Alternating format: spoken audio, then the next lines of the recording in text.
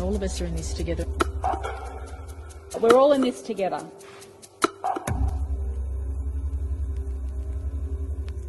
Anger is growing over a controversial decision to award Victorian politicians a pay rise as many small businesses struggle to recover from 15 months plagued by lockdowns. Queensland's politicians will be getting a pay rise.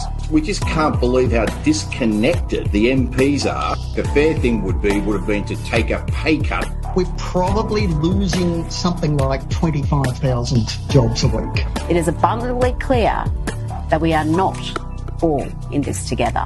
Boom shakalaka, ladies and gentlemen, brothers and sisters around the world. It is your boy Chris Shule, aka the esoteric noetic, aka the chocolate Nubian sobrada from Ghana, West Africa, dropping the wisdomatic truth bombs here in Melbourne, Australia, the home of the New World Order, mate, home of Team Meh.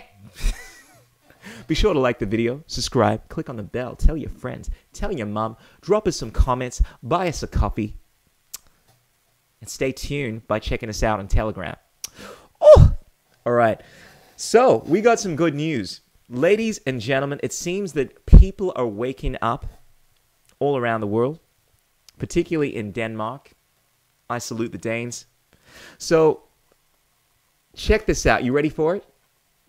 Oh, Denmark abolishes all boom shakalaka measures. The Danish parliament recently decided in Copenhagen that all corona measures should be ended from October 1st. There will therefore no longer be a mask requirement and the test regime will be abolished. The Danes will then no longer have to provide evidence of whether they are boom shakalakad or unboom shakalakad or whether they have tested positive or negative. In your face, New World Order.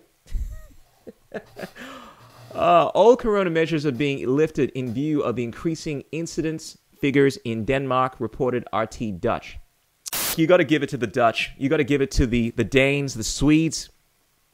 They are really standing their ground when it comes to this stuff. Last year, uh, I think it was in Denmark, or maybe it was uh, it was Amsterdam, one of these countries. Uh, their government had decided to uh, implement mandatory boom shakalakas, but because of the, the protests, because of these people standing their ground, this was overturned. So it just goes to show that one, these protests can and do work. I must confess, I have often said that, uh, look, these protests are not doing much other than inspiring people, bringing about solidarity, but they do actually change what goes on in government.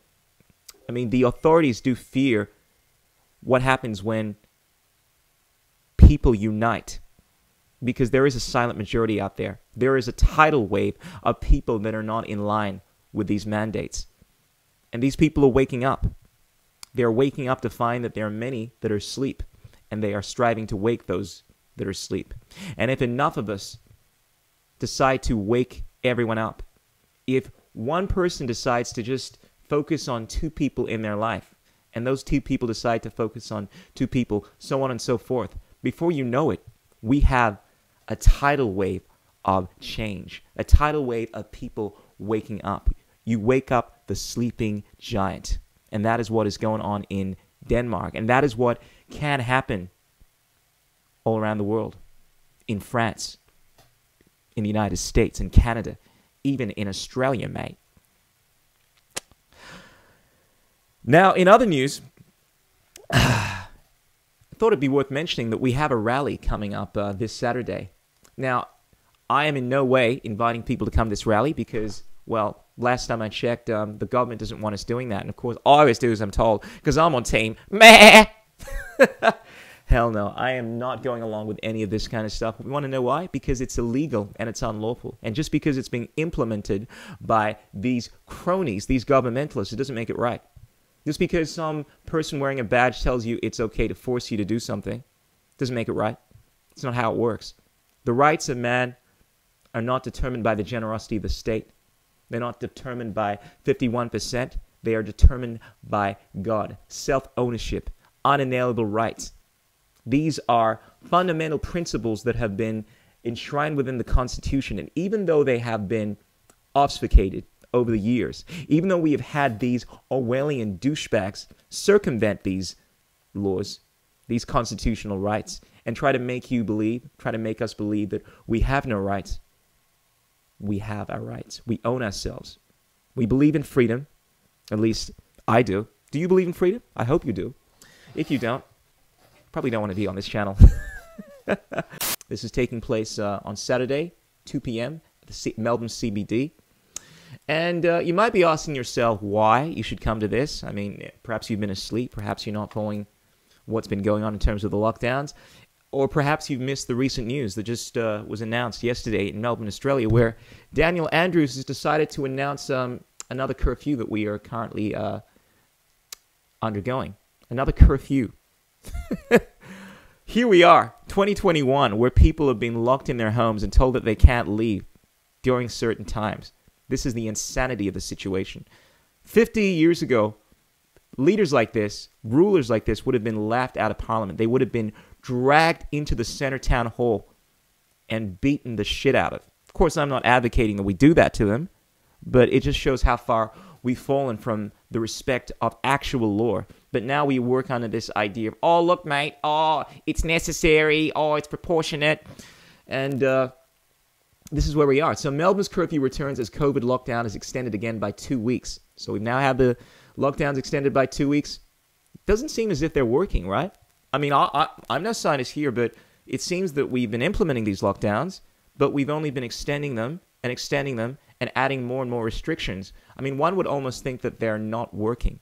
But of course, what do I know? But the question is, what next? That should be on your mind. Not what would happen to you, not what will happen to you if you uh, don't go along with this, but what will happen to you if you do, if you continue acquiescing to this, and you give these Orwellian dictators the idea that they can do whatever they want without any resistance. I mean, what next are they going to are they going to bring in the the police? Oh, they've already done that. The the military to make sure that you stay at home. Bring them in into your house to search your premises to make sure that you're not disseminating any anti-vaxxer material. Are they going to forcibly inject you? And then are you going to say, "Oh, look, mate, it's the law. You got to do what you're told," and have no regard for actual law, like the actual natural law, natural rights, which the Constitution was supposed to respect? Or are you just going to start? Are you going to start listening to your rulers like Daniel Andrews and ScoMo and these uh, these uh, traitors?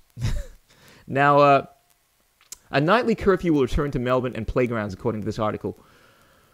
And playground playgrounds will close after a worrying weekend uh, of disregard for the stay-at-home orders sparked a tightening of lockdown rules. What do you make? How do you know? How do these people know that people are disregarding this stuff?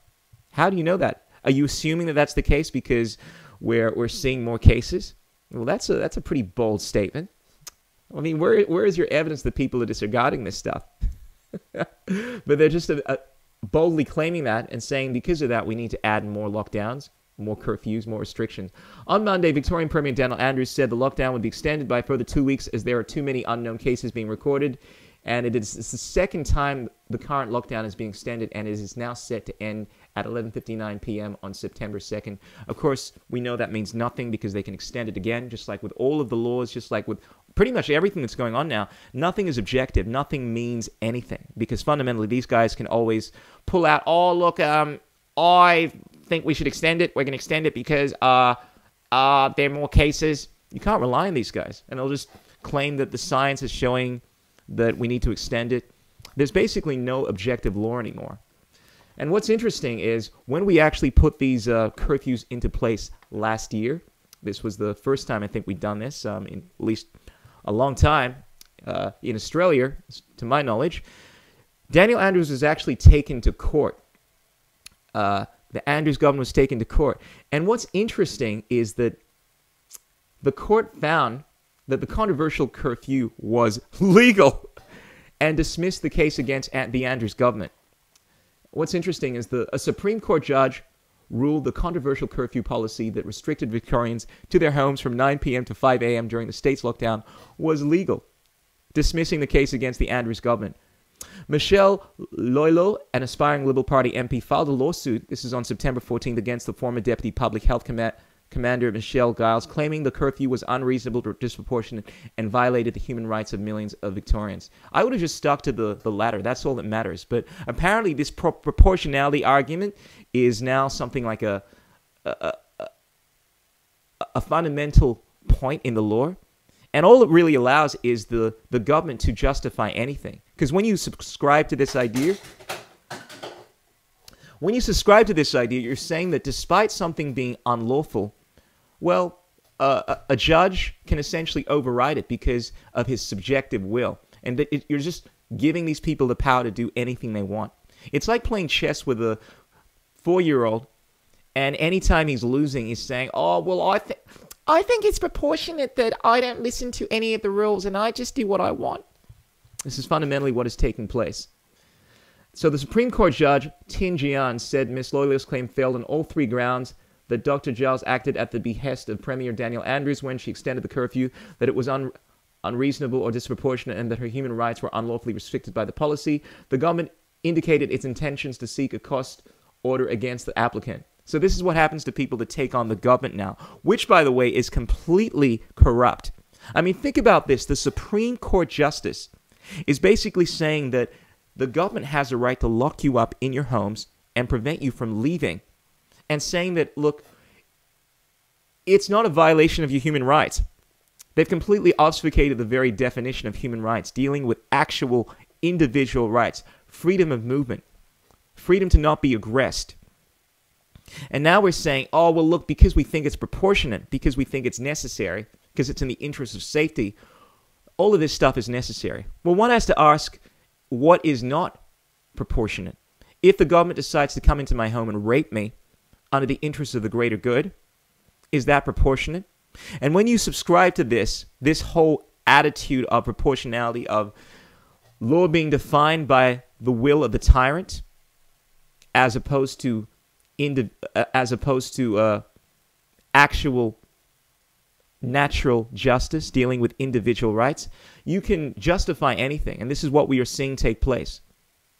The police, the government, all of these uh, pieces of this system are working under this completely obfuscated notion that they can do anything they want because in their mind it's justified.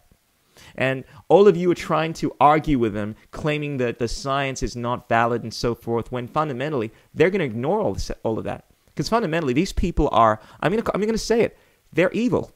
They're, activate, they're advocating the things that are fundamentally immoral. And they're doing it. Granted, a lot of them are claiming that it's the, it's the necessary thing to do. Their actions are absolutely immoral.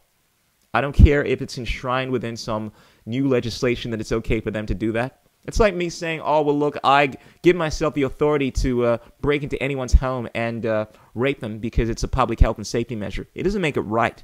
That's not how the law works. But it, it seems, though, that this is the way the law works according to these supreme justices, according to the Popo. Ladies and gentlemen, I need to remind you that if you continue to play this game, you're going to find yourself in a situation where you have no rights, no freedom by all means, understand the legal system, understand how to challenge these people, but make yourself aware of your real rights. Realize that fundamentally you cannot be forced to sacrifice yourself like that. Cannot be forced to take a boom shakalaka or do anything that compromises yourself. Just because someone tells you to do so doesn't make it right. If we buy into that, then all the horrible things that governments have done in the past, like forcing people to hunt runaway slaves, by forcing people to essentially perform experiments on people. We've been here before. All in the interest of safety is acceptable. And of course, all of these caveats people like to put in that, oh, look, the times are different now, Christian. This thing's really serious. Millions of people are dying. And uh, look, uh, you're just being selfish. Apparently, that's justified. Ladies and gentlemen, the ends do not justify the means. That's not how law works. And granted, we are living in a system that seems to have disregarded that. You can take it to the bank. It is unbelievably, unequivocally, unassailably unlawful and immoral for the government to be locking you in your homes, applying curfews, forcing you, coercing you to undertake experimental boom shakalakas, wear masks that may be compromising your health, so on and so forth. And unless enough people decide to say nay, actually unite, like what has taken place in Denmark, in Sweden. Actually, I think Sweden was fortunate enough to have someone that was uh, a bit more clued up in regards to the science. Let's just say that. But unless people take it upon themselves to actually resist the tyranny, this stuff is going to continue. Unless people decide to stop going ahead with the lockdowns, with the restrictions, with the testing. And look, I I'm guilty as well. I mean, there I, I there are times I, I got to get tested, you know, but fundamentally, uh, we all have to take it upon ourselves to realize that if we want to see an end to this thing, we all have to do our part, remove ourselves from from this stuff, and uh, realize that unless, of course, enough of us collectively simply just say no, Sim- say no, say no to all the experimental nonsense that is going on. It's just going to continue going on and on and on. That being said, I'm not telling anyone to do anything. Look, if people want to stay in their homes because they're scared, if people want to get tested, if people want to wear a mask, if people want to take a boom shakalaka, they have every right to. But that being said, it is going to likely continue if we go go ahead doing this. But also, if you're willing to coerce people into doing this kind of stuff, there is a special place in hell for you. Mwah! Until next time, ladies and gentlemen, be sure to like this video, subscribe, tell your mom, tell your friends, drop us some comments, buy us a coffee if you feel so inclined. Check us out on Telegram, and remember that there are three things that cannot remain hidden for long the sun, the moon, and the wisdomatic truth bombs of your chocolate Nubian. Ow! What is liberty? What the? Who says you can't build muscle on a vegan diet? What's it like being a, a hottie in the vegan community? There are no political solutions, only technological ones. The economics of the system don't allow multiple competing systems to survive. Engineering, technology, these arts of humanity, they are magic.